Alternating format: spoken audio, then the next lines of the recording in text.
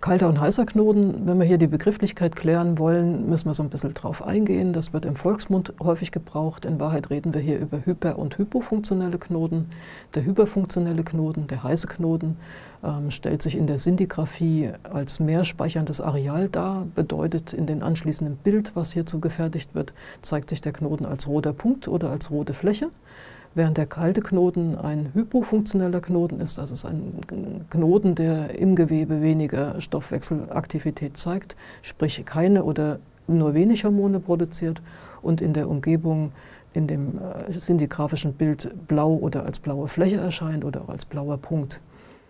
Ähm, insgesamt sind die heißen Knoten stoffwechselaktiv und die kalten Knoten nicht stoffwechselaktiv.